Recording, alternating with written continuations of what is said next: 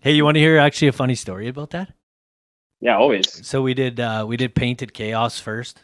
Uh, that's fourteen twenty, my new bull. So we did him, and and he's a mean sucker, so he he does his. Then we did Buck, and he does his, and then we run in fire beats, Yeah. and uh, they stick Two the, pump chump. No, no, no, no. He he's he had a he you know he's like his dad here. He's got a little Three pumps. yeah yeah three three pumps yeah. No, no. They they put the the uh, vibrator in him, and uh, so they start cranking it or just, whatever. just like just like his just like his dad likes. yeah, yeah, yeah. And then they start giving him the cranks, and he's like, "Ugh." Uh. and he started moaning, and, and then he's like, "Uh, uh, uh." and the, the vet tech, she was like a, a younger girl or whatever, and you could tell like she was just trying to hold in a laugh. and then uh, Trent, my vet, I was like, Trent, he's been to your house, hasn't he? And he just started laughing. He just like, "Uh, uh." Man, that's that's one that's one job I don't miss doing. Well, so uh, so here we are, episode sixty-seven. Cowboy shit. Ted and Wacey and our special guest host this week, yes. Mr. James Foley. so we're Repeat guest, repeat guest. yeah, this is his uh, second time on the show. He's also he's actually one of our best guests ever. I don't know if it was him or if it was the other guy on that show, but like it had a lot of It's probably me. had a great amount of downloads. A So lot of a lot of people didn't hear like didn't know too much about our other guest. no, no, it was mostly about yourself, Mr. Foley. Yeah, yeah. yeah. So, uh, so uh, we're recording from your kitchen table in Lloydminster today. FBB headquarters. Yeah, Foley Buck and Bulls World Headquarters, Lloydminster, 47th Street, Yeah, yeah. Lloydminster. You, do you guys want to hear another funny PF story? Yeah, yeah. Yo, yeah, this is gold. I had to my one year I was working on the PFRA and I had to hold the vibrator in. Why? These ones just stayed in. I think they screwed you over. Well, might this might be some new technology you were working with then though, but I literally had to. We had 40, 42 bulls on the PF I was at, and I had yeah stand behind all forty two with hold the vibrator. You Just held getting the- shit on, Did getting you have, shit on, and Did you have to stick your hand in there and clean the poop out? Oh, No, that was with the vet. That, that was the vet. Oh, so you were you were a designated vibrator holder for a year? Yeah, I was. oh man. Wacey, where have these stories been for the pod the last three years? Oh, I don't. Oh, I don't know, man. It's not as good as Jo and the Bulls, but um, the one time we were, I think we were preg test because like the at the PF they'd always preg test for the patrons as well, Yeah. and it was a it was a it was a big day for me because my manager let me run the head squeeze, and it was like an automatic head squeeze, so I was pretty stoked because that's like a easy job. So I fucking just one cow runs in and I go to squeeze her and I must have like missed the latch on it, and the latch pops back. It's a big, long, like probably two foot long pipe that you got to press down the latch to like squeeze them. Right in the I missed the ball latch, sack. and it no, right in my right in the chin, like literally almost Oh. KO'd me in the middle of Oh. this field. Just got Oh. piped. Yeah. Really? And that Yes, was your Dave. first time running the squeeze? for him because my boss was like a like a middle aged fellow who was an old school cowboy, so I had to like Step earn my way. I guess Had to work I your way know. in. Yeah, he's like, "Hey, boy, you're not touching this head squeeze. You get in the back and Yeah. hold the vibrator." You're holding the vibrator today, boy. get your get your hands dirty. Uh, what are we talking about this week? I kind of lost track. We kind of just got rolling there and just uh, You came came in pretty spicy. Yeah, We pretty did. What have you been up to, Sp- Spoley? What have you been up to besides jerking off your bull? Uh, well, that that was a highlight of my week, and it's only Monday. tell it. Do you want to explain to anyone why you got a JO your bulls? Is that a thing or n- we do not even know? I, I can explain it if you want. Yeah, go ahead, Waze. Yeah, well, you're the vibrator holder, so you tell him what it Yeah, does. I'm, an- I'm an expert in this field. So you got to semen test your bulls and see if they have like a certain semen count or if their semen's alive or dead. To know if they're going to produce, and if in most cases, if a bull doesn't have like a high enough semen count or they're bunch or whatever, they get off the can because they cannot producers. But it might be different in a bucking bull case. Well, because they can still buck. Yeah, but it's, like, pro- for, it's like probably a, a, little commercial bull. a little bit different buck and bull world. Yeah, because they can still have purpose. But like a breeding bull, if he doesn't pass the semen test, he really literally has no value. So How many how many men over the age of 35 would be on the way to the can? I bet you, I'd say over fifty percent. My dad would be a goner. He snipped. He's gone. oh dang! Oh man, once you pass once you pass forty, you're right. You're right to the your dog. You're freaking Right to the beef, buddy. right to the Like what, what if they didn't tell what happens if they didn't tell like uh like dads or or like after you get snipped but uh, that was actually like you're going to the can. Your wife's like, "Hey, I booked you in uh, next week to get snipped." Oh, You're going. You're going on a little trip, honey. yeah. Hey kids, dad had- dad had to go to the can. No more babies. wow! No more dad. Just that's breed- just that- rant. That's just ranching, I guess. So Yeah, they- But anyways, Ted, that's that what it works. is, bro. well, I. I appreciate it. I, Did uh, you uh Some wait, folks might not know. So Wacey, did you ever look at the uh the the the the semen? yeah. Yeah, just look at the microscope, bro. Yeah, but what what did it look like to you with all the little swimmers? What did it look like to me? I don't know. Are you is this, are you setting me up for something? No, no, no. But I thought it was like uh, you ever see that drink? Um, it was Kool-Aid? like no, it's like purple. It's like a vodka or something like that, and you shake it up. It's got the swirls in it. Anybody see that before? I don't can't know. say that I have. I don't know what it's called, but No, I don't know where you're going with that. It's not like girl- the purple girls drink, drink like it, the rappers but it, drink. it's got is it? like a swirl. So you shake it up and porn there's, like- stars. no, no, no, no, no. looks Any- like looks like uh, looks like pulp and orange juice. A heavy. no, I don't. It doesn't heavy pulp and orange juice. It juice. doesn't look like that, but No. when you look in the microscope, it is just like uh, L.A. traffic. Oh really? Like Some these stuff things going on. are bouncing on. There's a- like, there's ha- tons have you of ever them. seen an They're overview of India, like a traffic jam in India? No. Well, That's legit. Google it, So and that- that's, that's- what that's sperm looks like. She's just packed. Everybody's hitting each other. Oh yeah, right there. Did all, that? here's my question for you, Foley. Yeah, Did your bull, all your bulls pass? yeah. So uh, painted chaos. No, actually, Buck didn't. He was sixty-one percent.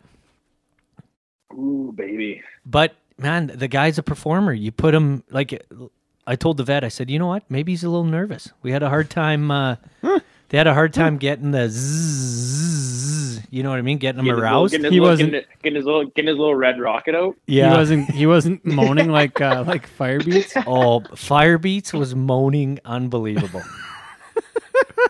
This on this episode of Yeah, Cowboy like Shit After hey, Dark. fourteen twenty went in, no, like two minutes, filled the, like quarter a cup.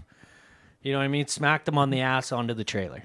Buck comes in there. We had to do a little foreplay, get him going, get our sample, smack him on the ass onto the trailer. Warm him up a little bit. Yeah, Fire Beats gets in there and they start hammering up He the. lifts the he lifts his tail. Lifts No, his no. tail up. No, no, they start they start giving him some vibration, and he's like, uh, uh, uh. and I was like, "Are you kidding me right This is now?" Crazy. And the vet couldn't even believe it. he's just, uh, uh, uh. I was like, "Holy man!" oh my god. But we got we got our we got our This, semen. epi- this, this episode's rated R. We're gonna Well- have to put an extra extra warning label on it. But that that's ranching. You got to semen test the no, that's, animals. you know what? That's it's, it's a part. It's a part of life.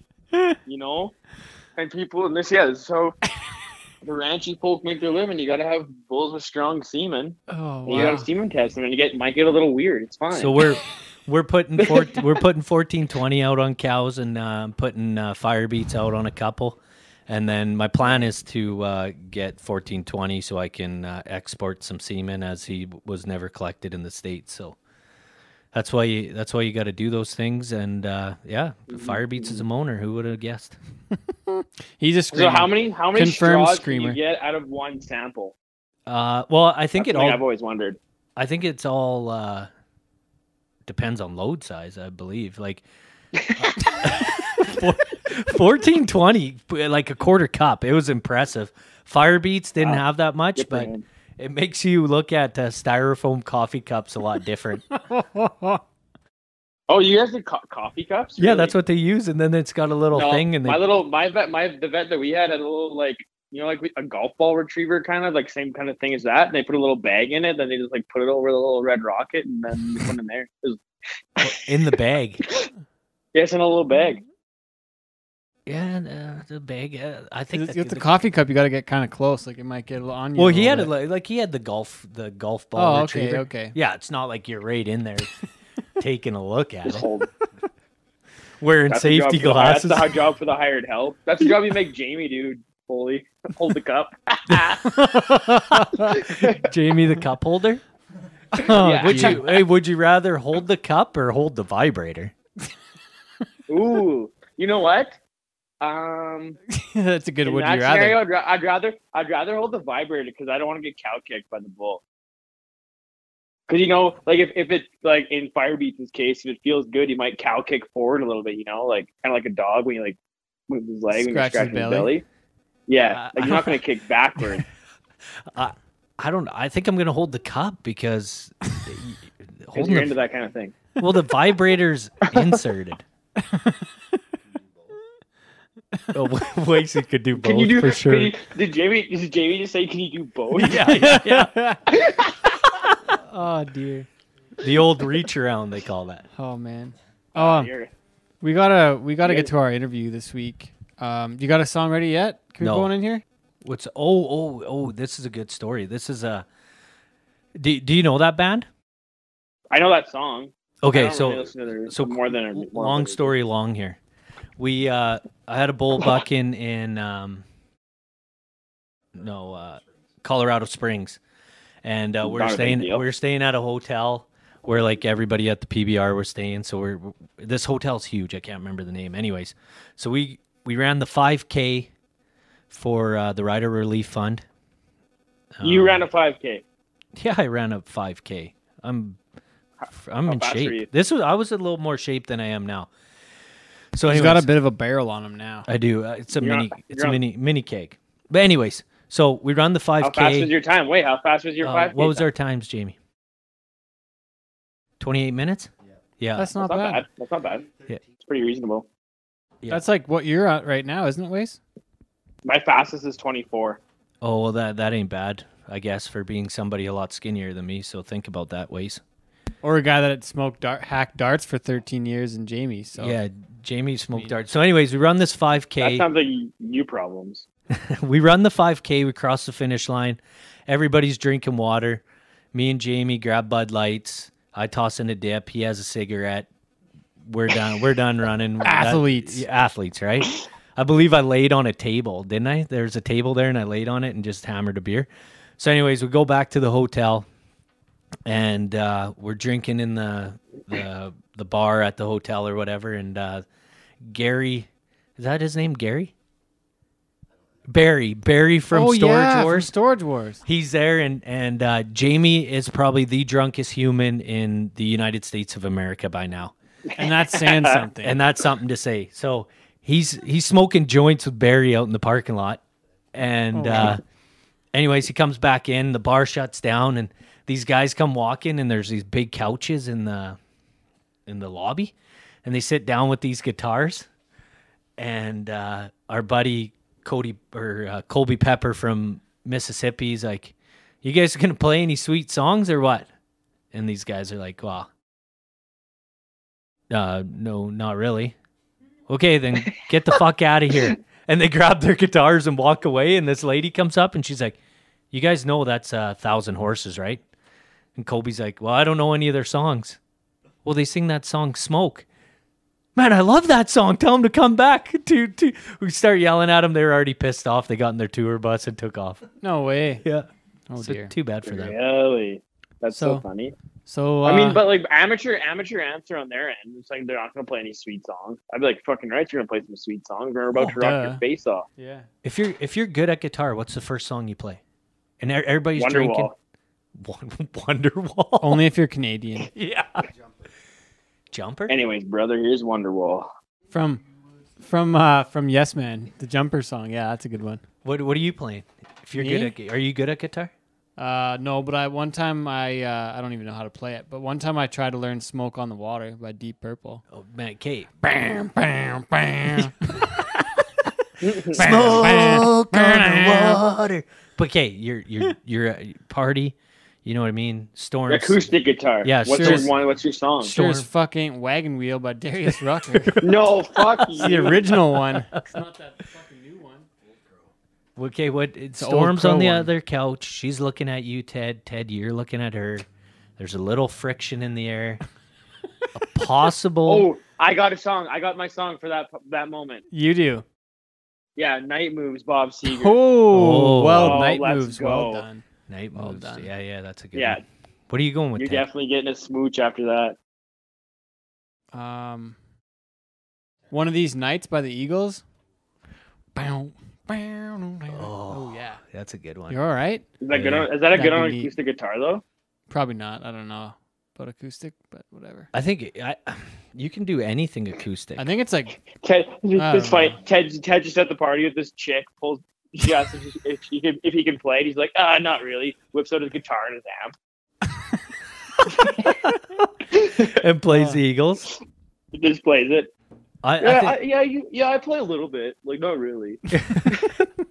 Okay. We gotta we gotta get to this interview, then we'll come back and bullshit some more. okay, okay. Okay, on this episode of Cowboy Shit, episode 67, live from Lloydminster and Calgary, Alberta at the same time, recorded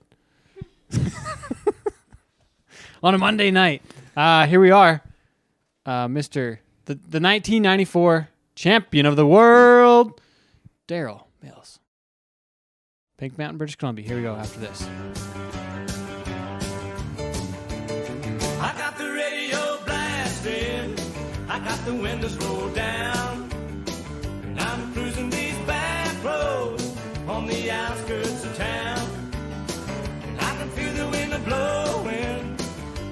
Big engines whine. When I'm cruising these back roads, all my troubles are behind.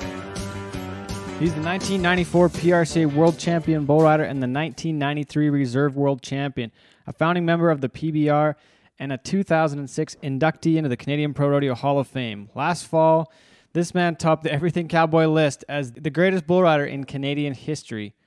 From Pink Mountain, British Columbia, Mr. Daryl Mills. Thanks for joining the show today.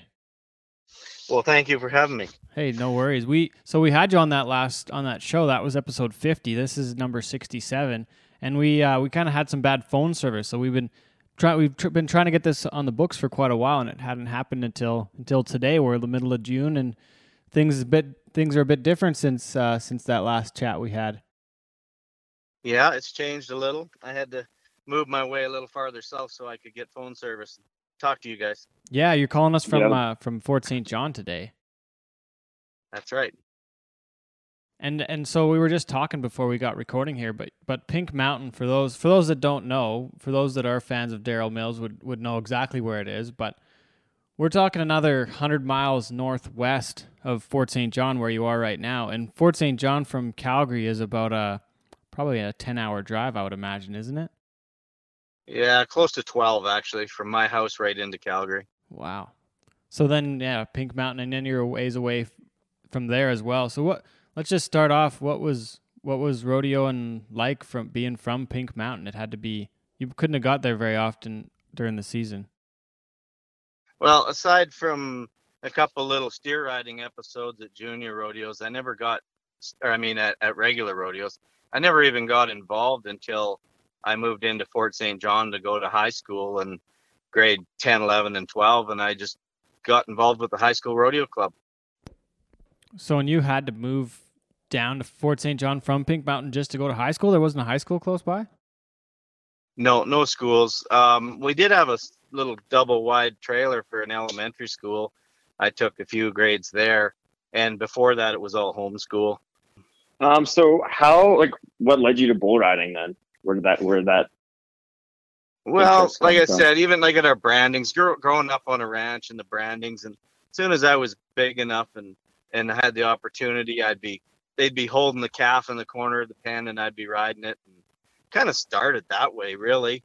And as I got older, the, the the cattle got bigger at brandings. Hell, I was running the range bulls out straight out chute or working chute just to ride them. It was the big thing of the year, and and you know when I started when I started high school, I didn't have the opportunity with a vehicle and and horse and all that to do any of the roping events. So I didn't have the means or money to get a horse and truck and rig, and so I just I did have enough money though to buy a bareback rig and then a bull rope and and then just by videos and and just some friends and and whatnot. That's how I started in high school rodeo. And how, how long did you ride bareback horses for?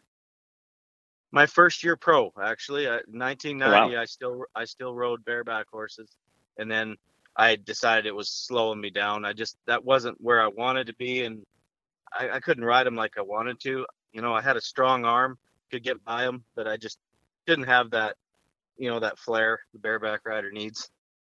Oh, I I read, I read something about 1990 you, in your pro rodeo hall of like the Canadian Pro Rodeo Hall of Fame in your uh, in your bio there.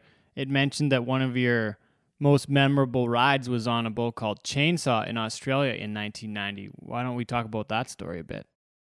See, that was before I turned pro in Canada. I went that winter.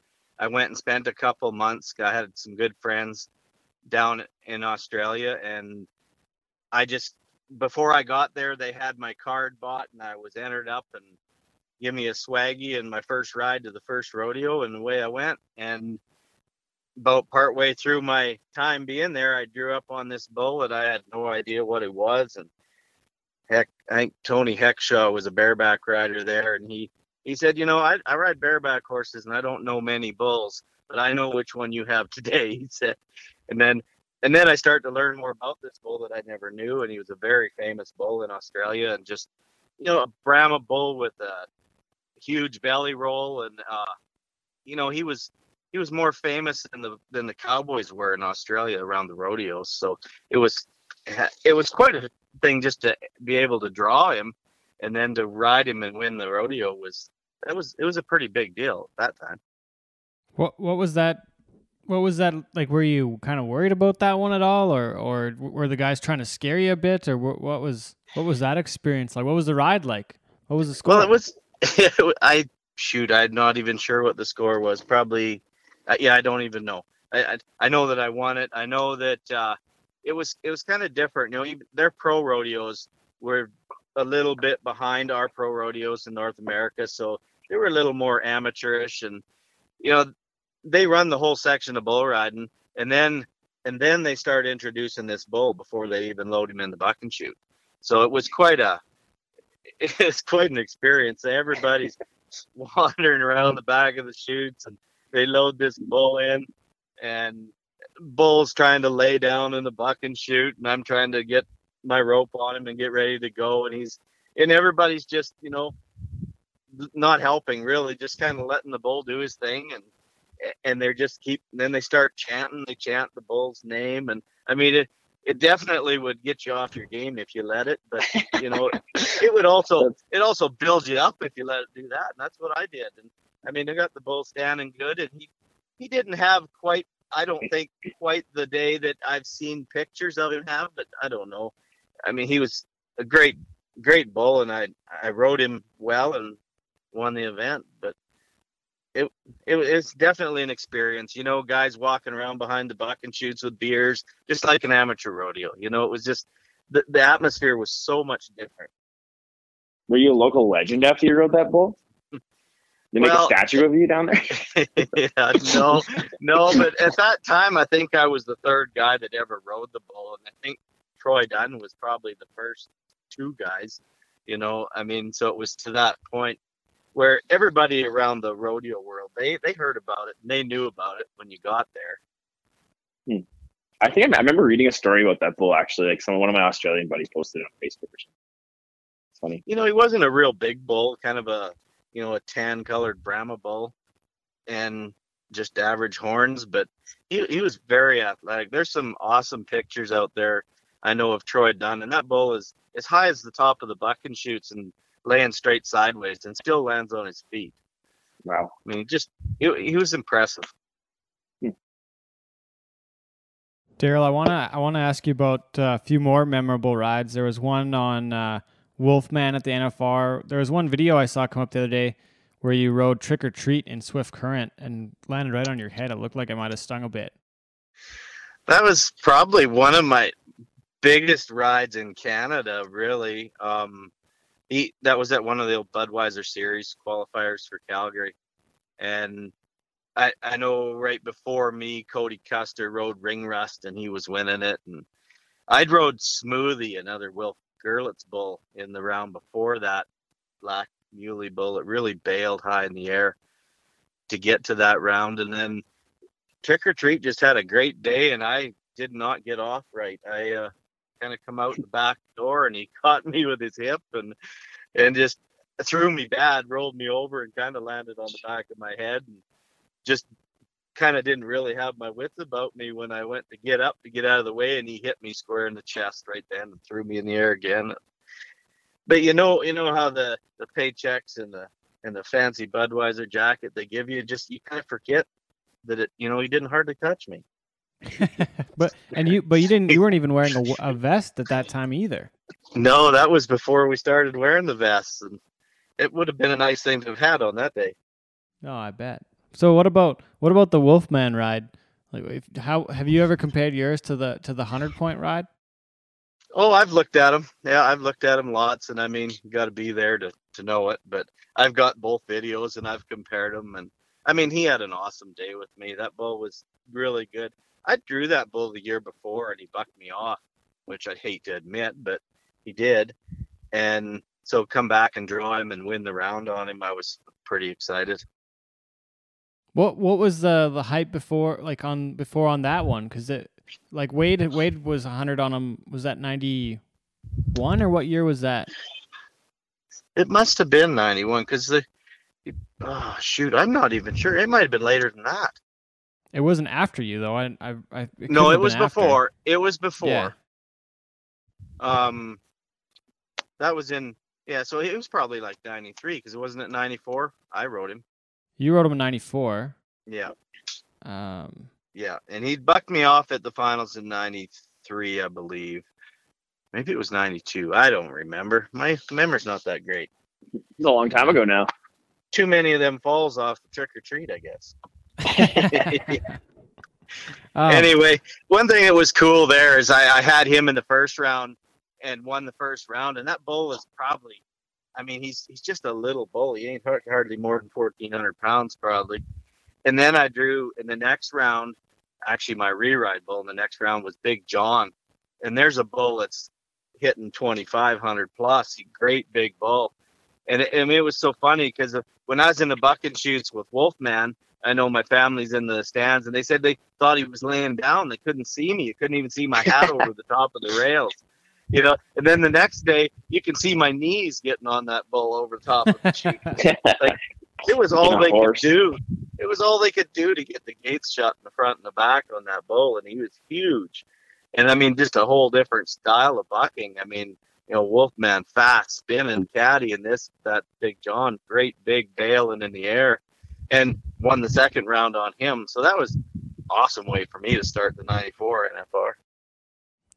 what what was the your most memorable moment at the at the NFR in the in the three years that you went?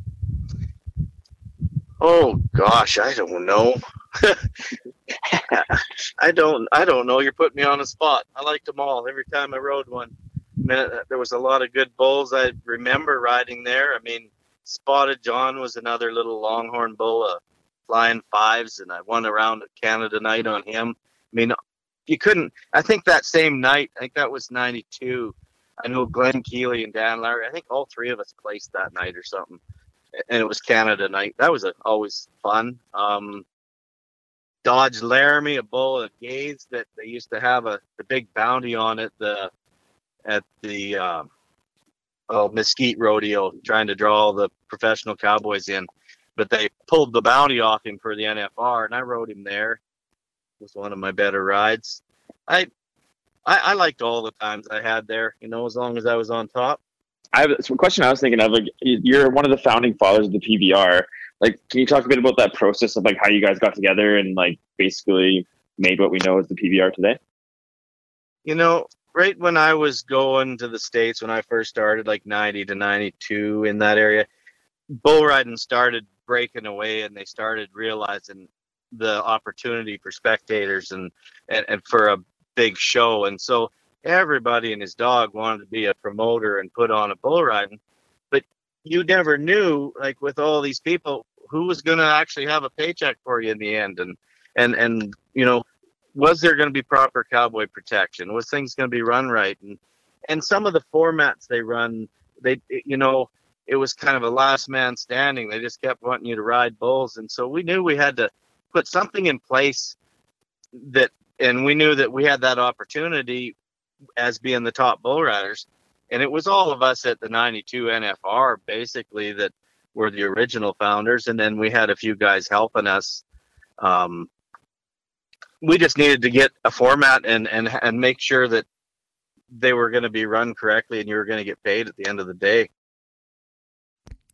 The first Fair the enough. first year what the first season was wa- with the PBR was technically 94 if you're counting the numbers, but you guys actually had events before that too, didn't you? In in like in 92 and 3? Or am I off on that? 93. 93 we did. Yeah, we had So- events in 93. We didn't have a finals. We weren't quite established that far yet. I think we just had it was just points at the end of the year or something. But 94, I believe, was our first finals. Well, and so 93 you guys didn't uh, didn't award a world title either because it's not on the on the numbers. So the first world champion in the PBR was 94. Yeah. So then you then uh how many of, those events did you compete at yourself? I guess you would have competed the first uh I went, yeah, I went to all of them in '94, and I well, I went to everything right up till I quit riding. Um, I I was fortunate enough to win one of them. I won Nashville, Tennessee, one year. Um, that was put on by by uh, oh TNN, I guess, and Guthrie. Yeah. That's like that was like the wasn't it the Gaylord family? Weren't and didn't That's they right. own TNN? Like they were the people that that owned the TNN, like the I forget what it stands for, but it was it That's was the right. same folks. Yeah. And wh- so that was like the bull that was where Bullnanza came from, wasn't it? Yep. And that one, we obviously we sanctioned that one, and that was another one that they produced. Yes, in Guthrie. did, did it pay really well right off the bat too? That's that's that was one of the richest ones for a long time. It for the final to be the champion. I think it paid rounds, but it, to be the champion was ten thousand at that time. But that was our first year, I or see. second year, I guess maybe. I'm wondering what the what the process was like in those first couple years building the PBR. Like what what were the what were the meetings and the conversations like when it started to become even bigger and you and you brought in different people to help build it? Oh, we could see it when we had guys like Nashville events and, or I mean, uh, sorry, Las Vegas events and um, Budweiser get behind us. We knew we had a big event, and and then I don't know. I, I we were excited because we had control of it, and it was something that we were actually not only did we own it, but we rode in it. And and like what what were the what were some of the next steps along the way? You you owned it and you rode in it, and, and so you guys were like, were you getting paid dividends? Like you owned it and you rode in it, but then how were the profits split up throughout the years when you did things? Like that would have Once been we interesting. Yeah, too. once we did get it established to where we actually had a little bit of money in the bank, we yes, we did start it did start paying out dividends. And and so I gathered dividends off of that for several years. Um far more than what I ever actually had to invest to start it. And I don't know, it, it just grew from there. We had we've had ups and downs. I mean, we had to buy out our TV rights because we knew that was slowing us down originally TNN came on with us, and then we knew that for us to expand and get farther, we had to buy it back. That set us back, and oh, we had different things with shareholders selling shares, and you know all the normal things that go along with a new business and a new company, and little things like that kind of held us back a little bit. But once we got everything all in a row, and it, I mean, it just flew. I mean, look at it today; it's it's unreal, and it's pretty cool to see it and know that you were one of the guys in that small little room that said, "Yep, I'm in." And like that first time, the story is you guys all put a thousand dollars in. That was that. Was that all you guys ever invested off the bat, or were there a couple different rounds? There would have had to be some more rounds of investment, wouldn't there have been? Uh, the only other rounds of investment was actually for qualifications to our finals, and I think it was only for a couple of years. I know I was able to buy because I qualified in '94, so I bought more shares in '94, and I think '95. I think it was only those two years that they did allow us to buy more shares, and then after that, I mean, there was a couple deals we've made with different um, help that we've hired. Like I know Randy Bernard and and uh, a few others. We actually paid out in shares because we did not have the money to afford to pay them at the time. Yeah. But other than that, that was the only opportunity. After they later in years, they did start giving you uh, a share every time you qualified or something like that. Or it was it was a small portion of what we actually started with, but it actually give the new riders an opportunity to actually be financially a part of it as well. Is, is that are you are you still part of it today?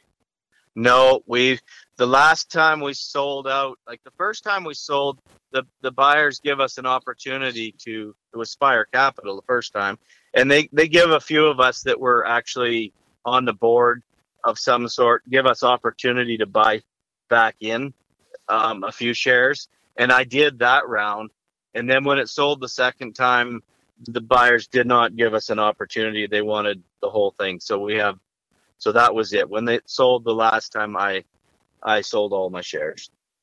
So the first the first time you guys sold it, that was the big that was the deal where where you guys got like was it 4.7 million or something? And that was like eight ever all the 17 guys all got like the, the four and a half million or so and then and then you guys went back went back in and then and then like the last time you're talking about is is is the endeavor sale correct? Like just in the last few years.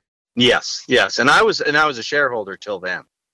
Till Right right, till then so Yeah. like 20 22 or 3 years Yeah. wow what was what was that journey like being involved the entire way there there wouldn't have been very many guys that were in it the entire time No, there was only a handful of us actually that were, but uh, you know it was good. We, I mean, we were on advisory boards and and conduct committees and things like that, just to kind of help keep it in order and keep it running the way we were wanted it to run. Um, it, it was nice to be able to have that involvement and and still a hands-on position, I guess. Well, if you could right now would you want to be involved again in some capacity i know i know you had an event for a couple years in fort st john but but is there another capacity you would be you'd like to be back back involved with in the with the pbr You know, I don't think so. I think I've passed that stage. I, I'm happy Yeah. with it. I mean, I, I've enjoyed every bit of it and and the whole thing. But no, no, I'm I'm good with that. Carry on and do new things. That's fair. What What do you think's kind of the most uh, um, probably? I don't, I don't know if I want to say Im- important or the most like instrumental part of, of building the PBR. What do you think is has been the like the most important um, piece of that in the last twenty seven years? The biggest importance is everybody sticking together, staying Yeah. together as a unit, as one. Because individually, you know, we're very small, and but as one, and especially, and that's how we started at the NFR top 15 in the world. So we had we had a hold on the best bull riders in the world and said, "Hey, here," and we took that to our sponsors and our TV, and and that's what helped us to gain to where we got to today. I see. Because before, like, like uh, I've traveled with uh, with Donnie Joe for the last you know few two or three years here now, and he has a buckle from the George Paul in 1979, I believe. So they Yeah. were they were starting individual like individual bull ridings for like 15 years before you guys started. So there was, like you said before, there was a lot of independent pieces, but you guys brought it all together and with the top guy. and there was some like the George Paul and the Guthrie, and there was a few of them that I mean they were well run big bull rides that were I mean very prestigious. I mean, but the, after that it started to get to where there was bull ridings every weekend all over the country, and you had to kind of get a control on it, and so that's what that's that's the big change. I mean, those bull ridings were great bull ridings too. I I mean I rode there. It was that one was um was sanctioned by the PBR as well. At one point, wasn't wasn't it? But like it was kind of uh, in the first probably six or seven years, wasn't it? Yeah, it was. I know I rode old alligator there one year. Oh wow. they go Longhorn, Watusi. Well, going going back to those years, I want to uh, fit this in, uh, and I'll put it, put it back to Wacey here. But I want to ask, uh, like, who you, who did you travel with in, in in your competing years? Who did you go down the road with? I never I've never known that part. When I first started, when I first started going across the border, it was with Glen Keeley. Hell, I think Tommy Thielen and Kurt Wakefield traveled with us a little bit too. Went and did the winter runs, and um, after that, I actually Jerome Davis. I traveled with Jerome a lot. Um, I traveled with Cody Custer and Ted Nuce for a while. Um, heck, I even I even traveled with uh, Cody Lambert and Ty Murray for a little while, going to some of them PRCA rodeos. What's But- your favorites? Or sorry, go ahead. And the on the other Canadian, I guess I traveled with quite a bit there for a couple of years was Wade Joyelle. When he decided to go south, he come with me there. We entered up and traveled, and then I got hurt and missed quite a bit of it. But You and you two were both some of the top guys in the world, and both from both from northern BC too. That's right.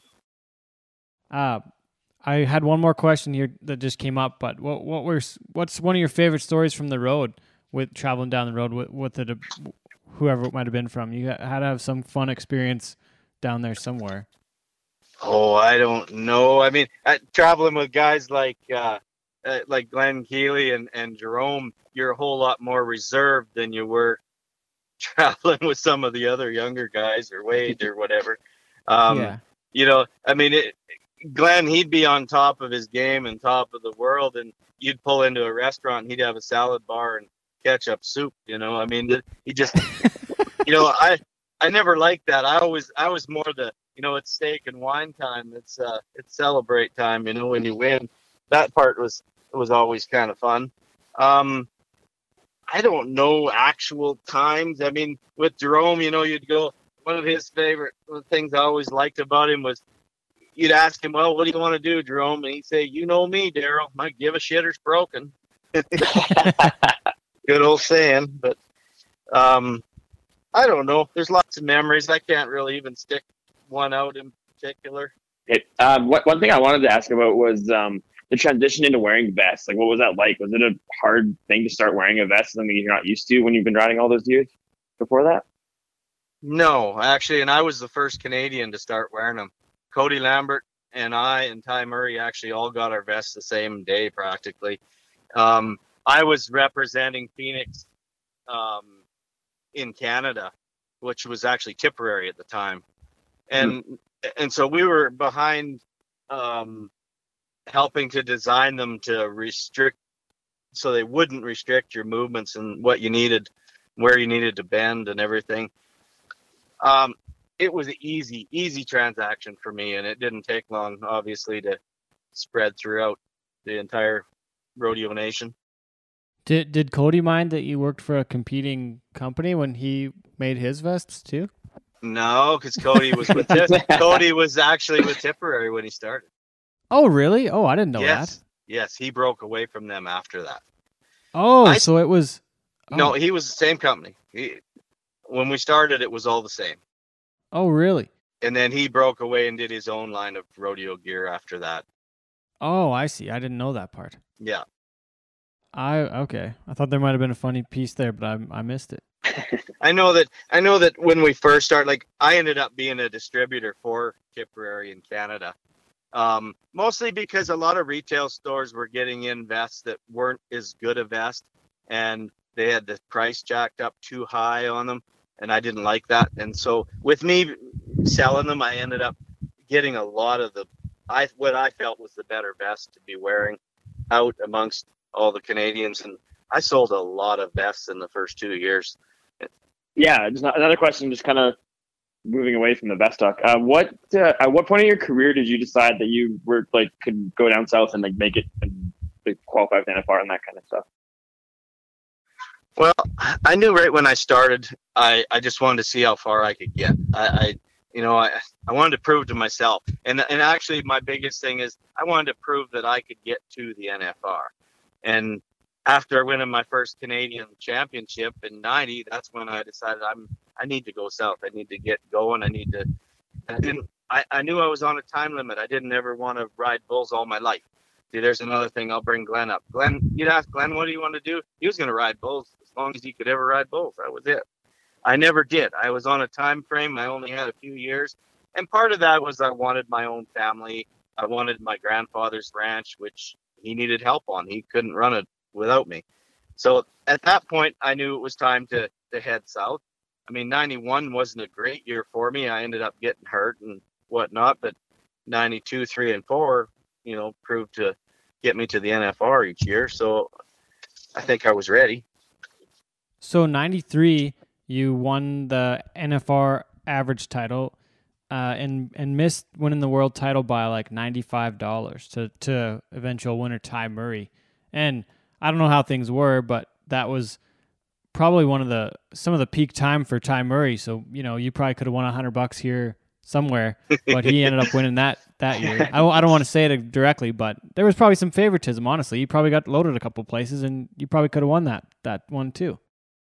It, it comes, it's very close. I mean, right down to scores and everything. I mean, Ty did some great things there at the finals. He took re-rides on bulls he was placing on that bumped him around. I mean, just one of those, you know, won it for him as well. So I mean, I can look at it either way, and we can say either or. But I just, I have to. I mean, I was going to quit. That was my last year. I wasn't going to go another year. But getting that close and that, you know, to a gold buckle was really hard for me to just know that I could be happy with myself when I walked away. And so it took me a while to figure out exactly what I was going to do. And I thought, you know what? I'm doing this one more year, rain or shine. That's I'm going to go for it. And eh, I mean, otherwise that would have been it. So, I mean, it, it give me another year, another year of competition and good memories and good rides. And that was that was uh you what age what age were you when you like you were willing to to be done at that point? You were 24 and 93 or Yeah. what age, or is that right? I think so. Born in 68. So yeah, so 25 and then and then 26 in 94. So you you wrapped it up right in the basically in the prime of your career the next year when you did win it. Yes. And you know, I always I mean not solely was it because of the ranch and whatnot, but I also looked up to guys and one that I and I've told him to his face, Lacey Cathy is a great, great friend of mine. And I said I said, You're the reason that I have stopped. I said, You were one of the greatest bull riders ever, but you rode too long. You kept going too long and the young kids were beating you and you know, he wasn't riding and those are what you remember. It's those last rides guys that are out there and, and see the how a guy finished. I wanted to finish on top, and so I mean, what a better way to do it? Then winning the world and, and finishing like that, yeah. Well, Yeah. but like I guess the other side of that for for you know, I I think about it like how many more how many more if you if you were that close in 93 and won it in 94, maybe you could have won it three or four times, but that it just wasn't something that you cared to do. Well, if it's not in your head, it's, you shouldn't be there. And I mean, I can give you another example of a guy that's that's uh, commended me every day when I talk to him is Jerome Davis. Look at him; he won the world in '95. The following year, he was a reserve in '93 or '94 when I won it, and then Yeah. in the winter rodeo, you know, in a winter bull ride in Fort Worth, just lands wrong and paralyzed, spends the rest of his life in a wheelchair. Yeah. You know, you got you got to take the good with the bad. I was happy with what I got. I didn't have to go just to keep winning. I, I won what I wanted. You know, I, my initial goal was to be the top 15 at the in, in the world and make the NFR. And I did that in '92, but I got there and I I think I rode one or two bulls in the whole finals, and I just I left there my head between my legs. You know, I just was I felt so bad. I thought, you know, I got there and I didn't prove I even belonged in the top 15. And so that was a no-brainer. I had to go back. I had to go back and prove that I did belong in the top 15, and that was that was really my goal in '93. So, well, then, so heading into '94, did you head in with that mindset, like knowing that you were going to win the world title that year, or you just kind of just had the same mindset as you did in '93? And it's funny because yes, when I when I started '94, it wasn't any more to prove that I belonged at the NFR. '94 was solely gold buckle. That was that was my intention right from first entry. When I decided to give it one more year, that was the that was the sole reason. and you know that's silly doing it like that. I mean, it, it proves to you how you should really set your goals. Set your goals of where you want to be, and don't short yourself. I mean, give yourself them small steps, but you know you gotta you gotta set that goal, and that's what I did. I mean, I set my goal it, to get to the NFR. I made it there first year. I set my goal to prove I belonged there. I won the NFR, I won the average. Well, I guess I belonged there. And the third year, I set my goal to be the world champion, and there was a few hiccups along the way. I mean, smashing my face in the bucking chutes there at Ponoka set me back. Missed all the Cowboy Christmas. Um, but then again, it it gave me a lot more rodeos in the fall, and ended up double entering just to get qualified again. I was in the top three, I think, when I got hurt, and I was wasn't even going to make the NFR that year. So did you carry any like added pressure with you to that the finals in '94, knowing that like the end goal of the gold buckle, like was that weighing on you at all, or did you use that kind of as a motivator? More as a motivator, and I always rode better with pressure. I, I always did. When some guys will pressure up, and and I also always did better at finals. You know, Edmonton. I loved Edmonton. I went in there, and it, like right as a rookie, I loved Edmonton.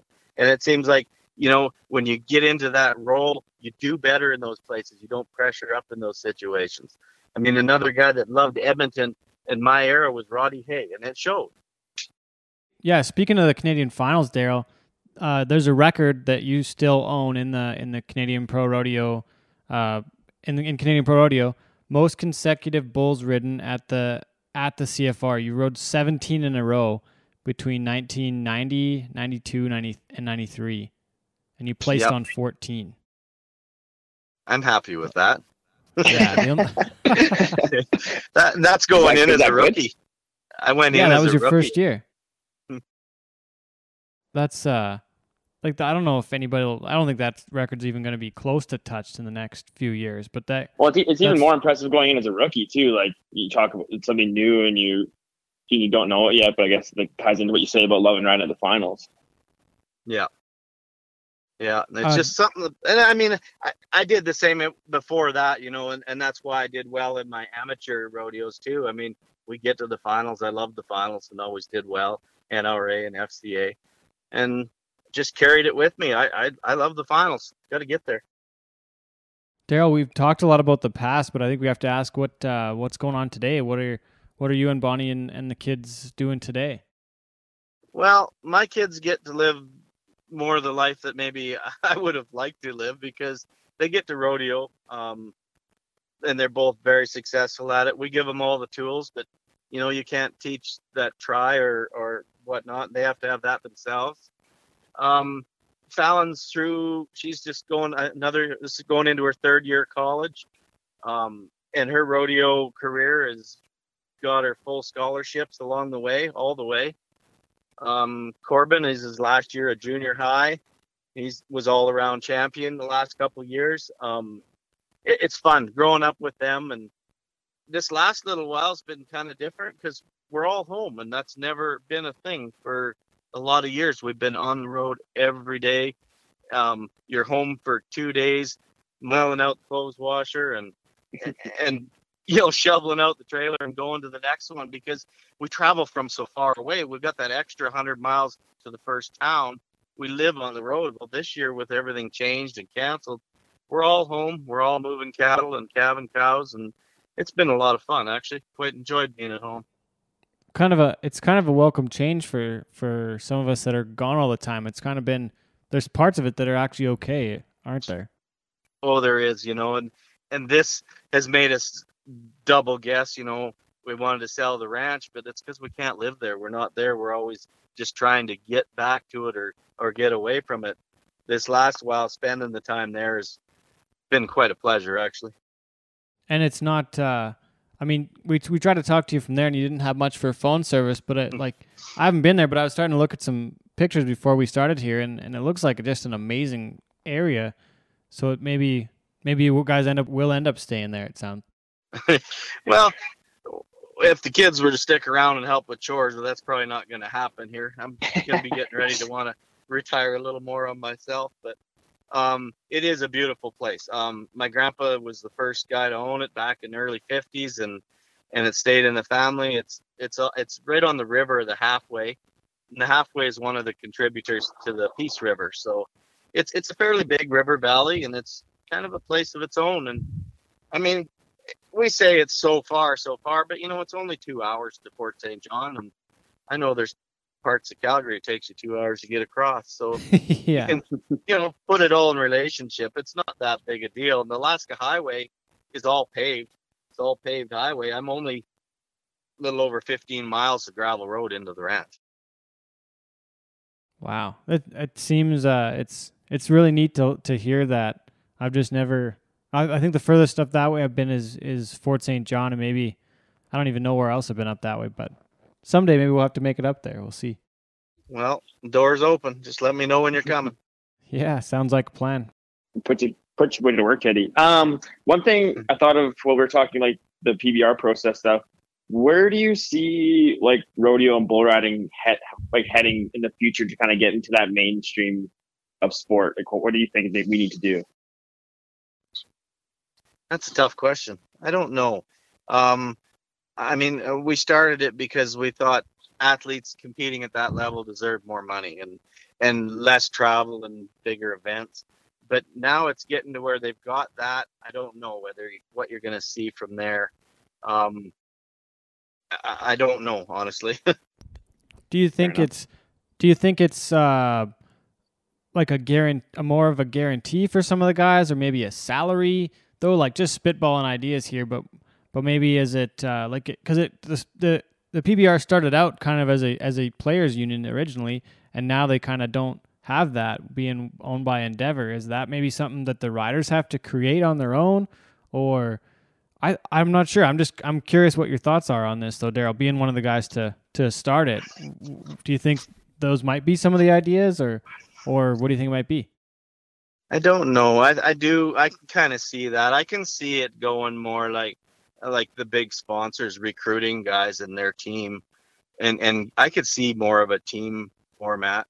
You know, and, and if they're recruiting guys just like any other sports, you know, they're going to be on a salary. Um, I could see something like that going, but otherwise, just get it out there more and more money, I think, and hopefully uh, they can keep up with the caliber and the speed the bulls are increasing. No, no doubt. There's kind of almost been more investment in the past, uh, you know, 15, 20 years on the bull side of things than there has been on the bull rider side of things. There's probably, like, honestly, there's been more people I think spend money on raising bulls than raising bull riders almost. Yeah, they've got the they've got the bred to buck program going a lot better than the Cowboys do. well, Wace, we'll let you uh, ask the last question, then we'll we'll wrap it up here. Uh, what is your definition of cowboy shit? Oh, the definition again. I probably just gritting and bearing it when you get you walk into a rodeo and it's mud up to your knees and the bulls are in the chutes and you got to just go on with it. I guess get on there, get out and make the best of it. Kind of caught I me. I like it. should have been more prepared. Yeah. That's okay. we, we ask all our guests. It's kind of an on the spot question.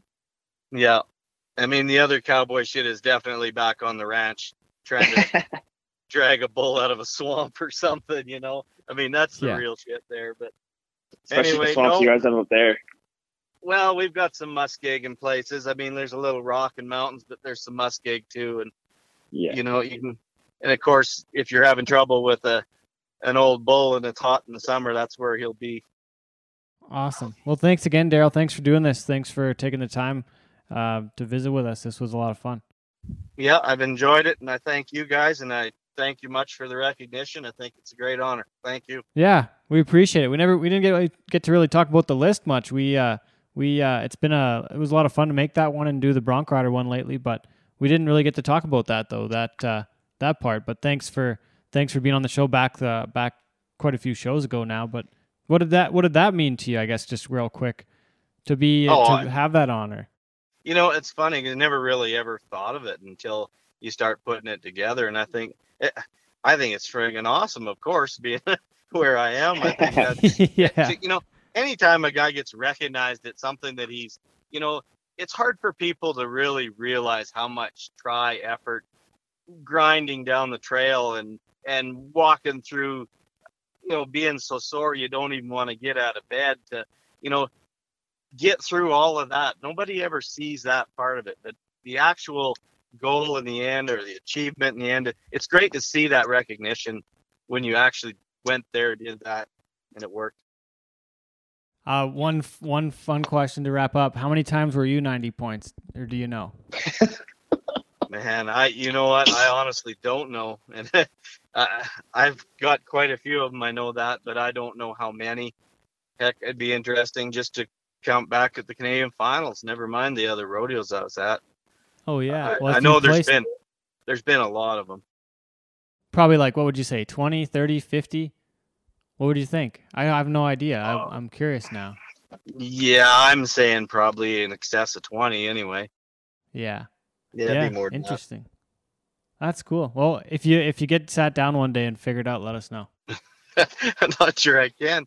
I, hell, I, that was one another thing when I was traveling with Glen because I, I and I think it's an advantage in many ways. I'd, I'd never remember a bull. I'd draw a bull up and I'd say, "Hey, do you know what this bull is?" And Glen would just shake his head and laugh. He said, "You just got on him two weeks ago."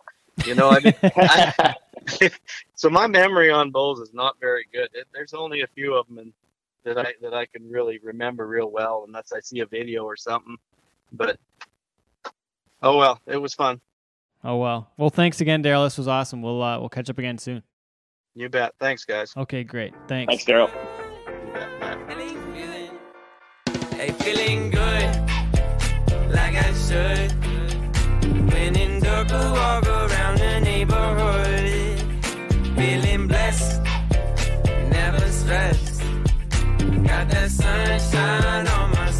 Thanks again, to Mr. Daryl Mills, for being on the show this week. Sorry for all the bullshit for uh, at the beginning of the show. For those that uh, those that have listened this far, they got through the first bit. You guys are real troopers, so we appreciate you listening. Hopefully, we give you a laugh or two here and there. I know uh, our friend Mr. Foley's good It's for not that chuckle. bad. It- It's just that's that's just ranching. Like if anybody It's who's true. listening has done any ranching, you know exactly what we're talking about. Hundred percent. It's happened some- at your farm. That's some cowboy. and then if you and if you're not shit and if you're not a, if you're not a rancher, then you learn something new today. That's just cowboy shit, really. You know, There if go. you're not a rancher right now, you're on YouTube googling pulling What we're se- talking about. pulling semen from bulls, and you're gonna get Post a video that you're not expecting. We'll post a clip of it on King Cowboy Shit Instagram. Yeah. Oh dear. Oh dear. I think I got a video on my phone actually. If you want to use it, Might have to. That's so funny. Might I'll have uh, I'll Oh, edit yeah. Wacey's face on the vet. Yeah, do it. Yeah, do it. Hold- It'll kinda holding the get tied to vibrator. story. Oh man, I can't believe you were the vibrator guy, Waze. Did you do you I put that know, in your Tinder He- he looks- profile now, you or now that, well now that No, I heck no. I just wanted to. what did you say? did you put that on your Tinder profile? Oh no, hell no. I will like I don't know. It's one of those things. You just you're working and you want to do a good job, and someone tells you to do something, you just do it. You don't ask any questions. Yeah, but how many people on their Tinder profile can can say professional vibrator holder? Holder. Uh, you know what? But you know what? That also might send a bad vibe, like on the other end of things. Might you know, get- it could have a might be reverse creepy. effect. Yeah, it Might could have a reverse effect. Like, oh, oh, really? So that means you lack in other areas, maybe. ooh, like you got a small hang down? Yeah, like without like coming out right, saying it. Well, you got paid to hold vibrators, so that's a job. too far. that's a that's a job to remember. So here, here's my here's a question I thought of back to like the song thing. What's the song when you're at the club that gets you out on the floor, guaranteed every time, like no questions asked? I don't. I'm I'm good. Like you're go. at the Long Branch on a Thursday night, student night. You see Cutie on the floor. The Long Branch in in your Saskatoon or two, your, your Lloydminster? stats two and your Saskatoon. And it, you're see the cutie from your stats 217 class. It's like, oh shoot, I've been waiting to talk to her, but you got to go dance. What's that song? Would it would it have ever been Chattahoochee for you? Because it was for me in the eighth grade. Chatty. Mine it was mine was nine to five by Dolly Parton. Dolly Every Parton. time.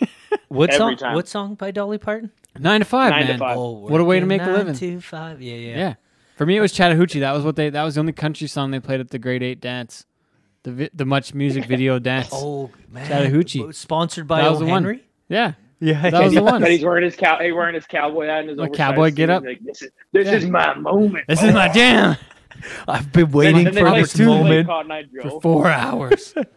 yeah, I'm trying. Because Cadillac Ranch, do everybody wanted to square dance or like the You know what? Line know what's dance. really pissed me? Like, now that you mentioned line dancing, one thing that pisses me off about like bars and stuff nowadays, eh, like country bars especially, they've turned every song into a line dance. Like it's fucking the worst. Yeah, but I, I don't think you blame the bars. I think you blame the Americas. Well, not even the, I wouldn't say the American. Even like there's a crew, there's a crew of like a, the dance crew in Calgary, like the out, the country dance crew. This That, is, is this for um, real? This is a real stat you're saying right now. It, like at Ranchman's, Yeah, it was they're- like a forty-five minute DJ set of line Yeah, dances. Li- literally. That's yeah, just when we get fuck- piled up is when they do line dances. And what are they just like, called? what what's the group called? They're like called the Outlaw Country Dance Crew or something. I don't Yeah, they know. should They be even have kicked, trophies kicked off the- Facebook. I'm They even have kicking them off. trophies And they- in the Ranchman's with their Well, name they on 'em. and they wear T-shirts. Like they wear T-shirts, like the same T-shirts. Hog up the whole dance floor, messing it up. And the girls probably wear those like d- wiener cowboy boots that are real pointy. You know what I mean? And they got Yeah, weird and then, shit on like, 'em. They honestly don't even really dance. Like when they're it's like actual dance. Yeah, they but spin these ones I'm around, talking like about they're- so- people are getting like kicked in the face, and like it's like, dude, Oh, chill out. We get it. What about the wobble line dance? Not a That's fan. the oh man. You're when I was in fan? college in Texas, every bar in the in like the northwest region part of Texas played that song over and over again. How come you don't have a that in the cube? How come you don't have an accent if you went to school in Texas? Did I'm you ever sellout. have an accent accent when you went to school in Texas? Guaranteed. Guarantee for a you it didn't. Maybe for a while. No. Um, I had another thing I wanted to ask you, Wacey. I was thinking the other Yo. day on the drive up, the biggest weekend I ever had rodeoing, like the most I ever went to in in one weekend, and I went to six rodeos in three days. I only missed one. I missed my bull by like ten minutes at one, but I rode at five of think- six in three days. Went to three on Saturday. It was a triple header. Two on Sunday, a noon perf and a two perf. I think I won three rodeos. This is ju- in the junior Six bull and three, six and three. You did. Yeah, six rodeos in three days. That was in in uh like that I actually competed. I went to I went to a bunch with Posy one time in the states. We went to like St. Paul, Molalla, Cody, uh, Red Lodge. We did. Uh, I drove them down to those ones. We did like two a day there because we were in. We we did St. Paul and Molalla the same day, um, and then we drove overnight to Cody, Wyoming, and the next night we were in. Uh, Red Lodge, Montana, I think. Then we drove back and did the Ranchmans and stuff. So that was a busy time because we did like we did one a day like that that's like we've done i've done like a month straight now when we when we've been doing other stuff but like when i was competing it was like yeah six in three days that was the craziest run I think my my I, I, there was one really big week one year. We did like seven or eight in like five days. in five days that's a pretty Yeah, because we started too. on two because there was like a three day or a two day event in Yorkton that started on like a Tuesday. It was like the, before the August long weekend. Then we just ripped out to a bunch. So like, that's quite- It was that's a- like a bunch of CC. that's a that's a good that's a good run then because like i mean you could if you went like Yeah. a week long you could say you went to eight or ten in ten days or something because you can't do that in august No. in canada because you Man. can do the north run The guys in July, oh yeah they they hammer Those it. guys are For bananas. sure, like Those Cowboy are like that, like you go, uh, what is it? Wainwright, wainwright Sundre high river Ponoka. Ponoka, Airdrie, Williams Lake, and then you go south. Well, no, and then you add in like Clu- like if you're bull If riding. you're you bull got- riding, yeah, we have stuff every day, and then we were in Airdrie, like, like yeah, we've there's done a lot one of stuff every that day time. for a week. Oh yeah, well we like there was one time in, when I was working for Ram, like when I went to Ponoka, Ponoka, Williams Lake, Airdrie, or not, it was no, it was it was it was Innisfail, Wainwright, Ponoka, Ranchman's, Calgary, and I I think I did like thirty perfs in twenty nine days or something. Like we just worked every day for that whole month until Calgary was over. I didn't get a day off till Stampede was done. You were doing the rodeo ram report. No, I was I was a Ram rep. Like I was a rep for Ram Rodeo, so I had to get people to ballot, like put their name in for the ballots and stuff Oh yeah, to yeah. win a truck. Working for the man. working corporate. for the man, corporate, big corporate guy. Yeah. corporate, Uh, corporate, corporate Teddy. Just to finish off, uh, let's talk uh, the the PBR with their team format. What do you guys think of the team business? Big fan of the team format. You like I think it? that's the way things should move. Really? The next step for the PBR. How do Yeah, they make? 100%. How do you have a world champion when you have uh, the team stuff? Just the individual or what? It'd be, it'd be, I'd even have like a team championship, like a Stanley Cup. Really, team bull riding. Yeah, I like it. I, I'm a big fan. I like sponsor, guaranteed sponsorship wise, sponsor wise, it's way more spotlight for like particular sponsors that sponsor your teams. You could bring in like a salary format for your players. You could have like a draft draft format. Then you could have Um, like use, eight your, guys on a use your team. velocity tour as your feeder system. Have eight I guys on a team instead of four. Then you don't have to get on six bulls a weekend. There you go. have yeah, more exactly. guys. I think I think it's a great way. I, I like it. Okay, now now now that you said, I, I'm not a I'm not a big fan of it. I I, th- I see the the the benefits for like um the the sponsorship side of things. You know what I mean? Team Can I? So yeah, and you, and you know my other my, my other argument for it though too is it's easier to follow for fans. So it's easier to attract a newer fan to the sport. Will it take away using a the team- individuals though? What- Will what- you see less Jess Lockwoods because you only see Team Wrangler instead or Team Cooper Tires? Well, it'd be, but it'd be, but it'd be, it'd be like anything you say. Like it'd be like in NHL, like we have your Sidney Crosby's and Connor McDavid. Like your your top guys are still going to be your top guys that drive that. I feel like it'll be easier to push those guys in the stop into the spotlight with a team format. You see them like leading a team. You know what I mean? I don't. I gotta say hats off for them creating this and making it happen right now. Yeah, it's it, it, it's it probably is- one of the biggest.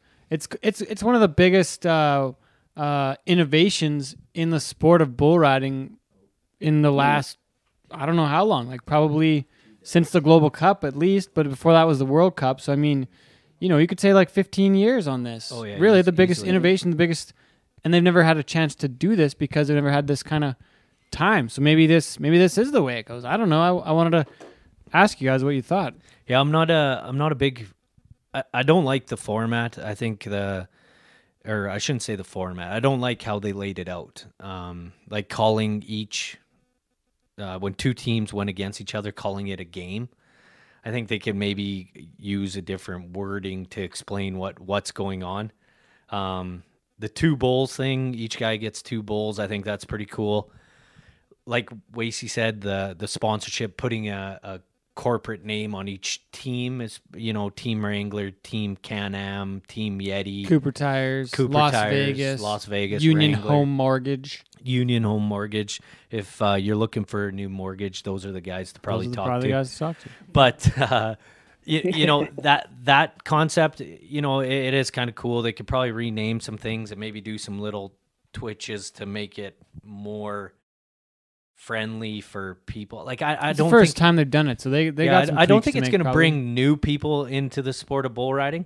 Um, I think a draft. would be- but if you if you It might, if you, though. if you is right present it properly though, if, if you present it properly though, it would. Like I guarantee you it would. I think it the- is right now. the problem, when the only problems- sports the, on. the big the, the, the big problem with that like so just given like conversations I've had with my non-traditional rodeo fan friends is that it's so hard to it's a sport that's so hard to follow why? right because the point system because the points well it's easy Yeah, for but you they- to they sit say why because you've been around the sport They Yeah, but, changed like the so you say you say you're Jim who works downtown Calgary and you go into this you have no clue how the point system works but it- it'd be easier to follow a team a team system right Yeah, I guess if they're going to hand it, well, are we are we talking that? we people- still can't do this in Canada. Like we can't have No. it.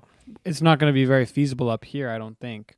Okay, but so you could but but your team your PBR Canada could be part of your feeder system or your AHL where those guys could get called up or drafted into it if they want to go down south and play do Yes. go in the team thing okay, so here's a question then. So say they draft. Okay, I'm Yeah. team. Uh, I want to be a good team. I got to think. Team GMAC or Yeah, Team uh, Foley yeah. Bucking Bulls. I'm team FBB, and then team everything cowboy. Team Cowboy shit.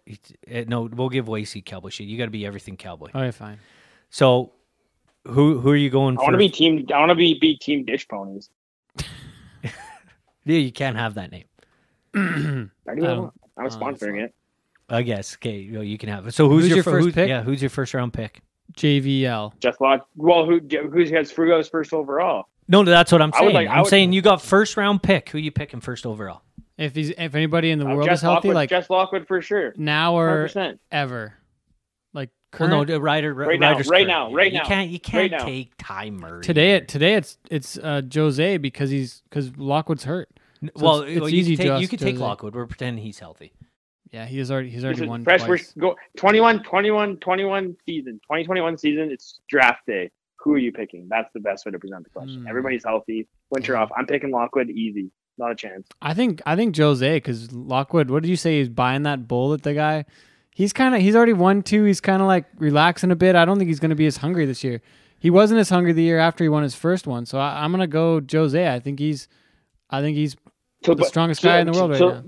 so but you're going into a team format too you gotta you gotta think like who's more likely to elevate your team Man, uh, have you have you not seen? Have you not been watching? That guy's been he's the, the guy's a beating everybody by five bulls right now. I think he's riding Yeah, I'm just saying. hundred percent this year in short goes. I'm, lock with my pick, dude. Yo, Wacey, are you there? I'm here. It's your conscience. You're stupid Team right ditch now. The guy's the guy's Team in ditch- hundred percent. I Jess Lockwood. Man, no, nothing I against love Jess. that We guy. like that guy. I He love. him. rides the bull good, but he's out. Or he's hurt. So He's you're- my cornerstone piece, man. He's my Connor McDavid. Okay. Yeah, What he he is a Connor McDavid. Who's your next? Who's your next pick? You gonna go? Are you gonna go Rodeo? Are you gonna go Sage Kimzey? Okay, just wait before we get into that. Are you gonna go Why? Why? Chase Dougherty? Why is there PRCA guys in it? I don't know. I've been wondering about that. You know, a lot of PBR guys that are So at home. my, like, my what are they argument for it right now, though, why there's PRCA guys is given like the current like COVID situation. Yeah, I know. yeah, but why don't uh, they look after their who own guys first? Yeah. No, I don't no know, offense, but but, like, why what did, I, I, I have no clue. I, did I they need more? They needed 100%. 48, so I guess you can go that way a little Yeah, bit. but you but got, this is you pretty got 48 heavily. guys in the PBR. They're, Oh, they're, yeah, what about the guys up here? I think they're trying to snag them right now. Honestly, like I think they're trying to recruit them to go and ride PBR after. They, they just want the elite of the elite. I think so. Because uh, you know, one of my um, one of my favorite bull riders, Cody Casper, Yeah, sponsored by. sponsored Foley by Bucking Foley Bulls? Bucking Bulls. Great guy. Great. He's guy. an alternate Great though. He didn't actually get in. Yeah, he drove down there and was a was a was a, a Probably didn't get any he money. was, he was a grocery stick of bull riding. A grocery stick. Yeah, that's the, John that's the Scott. guy that sits between the defenseman and the forwards. Splits just so the coach knows. Oh, okay. He's but- the biz nasty of bull riding. yeah, you know what I mean. Like, you know, Casper drives Fourth all the way down there. He got paid whatever three hundred bucks, five hundred bucks, whatever it is. But Not enough to drive all the way to you know, Vegas. yeah, that- that's a guy in the top thirty-five that isn't in this event. Like that guy's got to eat too. Yeah, and then, meanwhile they're inviting guys man. that haven't supported them. I don't know. We better we better I, call this I, off before I we agree, get too far into this. I agree with that 100 percent though, man. Take care of your own first. But I do like like if they did it, I think it, it would be like Well, Ty You- Murray picked Stetson Wright, I think, right? Like, Yeah. like those But- guys picked the team, so they're, they're partially. I understand they're trying to recruit the guys to go and ride PBR after this, because there's like there's no point to rodeo right now. That was that's actually something that I was thinking about before, but like in Canada this year, there is like no reason to have a rodeo. Everything's volunteered. There's some major flaws in the system that are be really being really being pointed out right now. It's an association that only does the sanctioning and the like administration of the rodeo. Where with PBR, we actually have a reason to do these events. There's actually some sponsors that are still involved. There's TV, there's broadcast, there's the ride pass. Like they actually have a reason to do it. Where rodeos, it's all volunteers. It's kind of like a shoddy thrown together organization that doesn't have any actual real reason to do it. It's just out of the goodness of people's hearts right now, and that's not that's not business. yeah, That's just PBR's like a organization. PBR's like a league where they got the yeah, they're actually the closest thing to a real league that we have in our sport. Yeah, hundred percent. They got the Yeti, the the Yeti, the Cooper tires, the Las Vegas. They got the yeah, sponsors. they got that CBS. They have a real broadcast network. Yeah. Like they have CBS, huge. Like I, I'd like to see their ratings now that there's nothing on And the TV. betting's huge right now too. I guess I, I read somewhere that the betting on a on a PBR event's the same as a NASCAR. Oh, I'm gonna go right broke. which I'm gonna go broke if I can bet on PBR. You can Where? South Point. Oh, I'm betting. Yeah, get to I it. think it's over now. But man, if if you could bet, like start again on Friday. I'm guessing Leme's got horrible odds. Like you're, yeah, you're probably losing money on him. But like you could probably get a couple stingers, like those Brazilian. Like Stetson Wright won uh, one of the nights, and he was like thirty to one or something. oh, Could have made some serious dough on that one. So, yeah. I mean that's just there's some flaws though on the rodeo side of things. And then and then the government of Alberta today releases some guidelines on rodeo, and you can have hundred people. Like, there's Man, no there- there- reason. there's so many rodeos in Canada that rely on like ticket sales On to gate, like yeah. make revenue and sponsorship, yeah, which is all gone this year too, for the most part. Like, and it's Yeah, all and it's all volunteer run. Like the volunteers, they're not working. They're not going to want to put on a rodeo. That's a, that's a, well, that's another big flaw too. Is like a lot of the sponsor dollars that rodeos rely on is oil money. yeah, a lot of it in Alberta, definitely. Hundred percent. Yeah. hundred percent. Hey, you know what? It, it may not just be oil money, but it's uh, you It's know, a big factor of it though. It is a big factor, and and let's be honest, that oil and gas supports A lot of things. a lot of things in in Alberta. A lot of the whole country. Western Canada. I tell you what, if a Stars helicopter picks you up, you won't see uh, Walmart on the side of it. Um, there's No, C- sure Canadian not. Natural Resources. There's Shell. Um, they're all oil companies that are big sponsors to to these guys, and and um, yeah, Yeah. props. And another quick thing, I would just like to touch on. Me and Teddy had a good talk on the phone the other day about it. But June's men's mental health awareness. Yeah. So uh, you know what I mean. So don't- something something Big good to touch on. instead of worrying about especially the, during, especially especially right now too. Oh, 100%, man. This is a this is a crappy time for everybody. I don't care if you sell socks at uh what's a good sock store? Stans? I like Stance socks. You- you big know what I fan. mean? I go to the actually sock store in Vegas when I'm there. I'm a yeah, big- so big you know what I mean? guy. You sell socks or you work on a drilling rig or you sell stuff at Be- Bed Bath and Beyond. Is that a place? That's a place, yeah. yeah, yeah. Oh, yeah. I was trying Love to think place. of Okay, what- uh, the body shop. While we have you on too, um, I don't want to get away from this one, but I mean, if, and nothing against all these challenges, but like do something too. You can do a challenge, but like call a friend and help out. Like reach out, call your friends, check in on them. Right? Like let's Yeah, let's look after people. It 100%. makes more actions that way. So don't don't be afraid to talk talk to people if you're uh, yeah, you know haven't heard from a guy in a long time. You know, it doesn't even have to be a guy, I guess. You know what I mean? Call anybody. call anybody. Anybody. Talk talk to people. We- don't don't be afraid. I talk to Wacey. Um, you know, I don't like to admit it, but I do talk to you, Wace. Hey man, I like hearing from you. Wacey, have you heard this story yet about the drive-by in on 47th Street in Lloyd? No, I want to hear it though. Oh my god. Okay. So this was good way to cap it off. I'm sleeping, having like what I consider maybe one of the best sleeps of my life. I'm, I can't confirm it, but I was sleeping, so it was good. and uh, all of a sudden, my dog Ruby, if you haven't seen her on my Snapchat, she's a legend. She is going nuts, and uh, there was possibly a, a crack house just a couple down, right across the road, and one down. Uh, allegedly, it was a crack house. So my dog's going nuts. Allegedly. Okay, my dog is going ballistic, and uh, I'm in my ginch. Uh, Lululemon is what I wear, and I'm like in my head. Hey, I'm, no free ads. yeah, yeah. So in in my head, I'm like, okay, there's a crackhead at my door. Like they, they just got into a fight Did you on the get street. your rifle? No, I got a bat. Get your pistol? So I grabbed a bat and I peeked around the corner. And from from my uh, hallway, if you peek around to the left, there's a big bay window, and there's a flashlight pointing right into my house. And I'm like, what the hell is going on? And I could see r- red and blue lights. So I'm like, holy shit, like something serious is going on. So I go back into my bedroom, get some pants on and a shirt, and turn on the lights. And I look out, and there's like seven cop cars and all these cops walking around. And I'm like, what the hell? So I open the door and I walk out onto my lawn or whatever. And this lady, RCMP, comes over to me and and she's like, "Did you uh, did you hear anything about half hour ago?" And I'm like, "No, my dog woke me up." And she's like, "Oh, uh, there's a, sh- a shooting right in front of your house." And I'm like, Holy shit. "You- "You're kidding?" She's like, "No, no, uh, somebody shot the house across from you."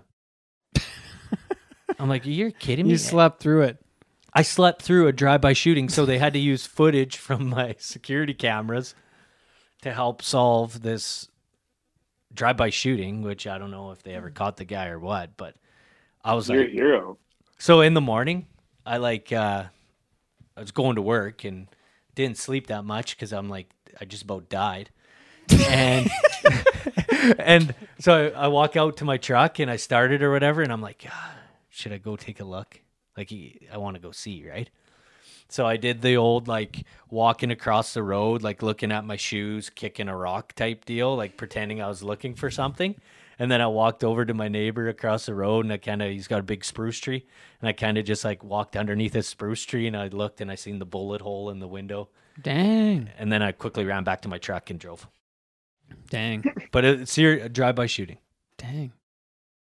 So Wow. if you think you're hard, you know what I mean? You haven't lived in Lloydminster you yet. got, Move to Lloyd, move to Lloyd for a bit. you got date raped in Turkey or whatever. You didn't have a drive by shooting in front of your house. Dang. Yeah. That's all. you got Dave. there. Okay. Okay, we gotta wrap this up. Thanks for the uh, studio, Mr. Foley. Thanks for being our uh, co-host today. This was a lot of fun. Anytime. We almost made a full show out of just bullshitting. Like That's- that's back in good. the day, this could have been a full show. Yeah, just we got, uh, without good, an convers- interview. good Chemistry. conversations. Yeah. Chemistry. Thanks for our in-studio audience, Mr. Jamie Maynard. Always too busy J.O. and his bulls. oh dear, J-O-N. Mrs. Storm Defoe. All Yeah. big, uh, big day. So yeah, we gotta wrap it up. I gotta go to bed. I'm tired. Thanks for listening to Cowboy Shit with Ted and Wacey, episode number sixty-seven. She comes rolling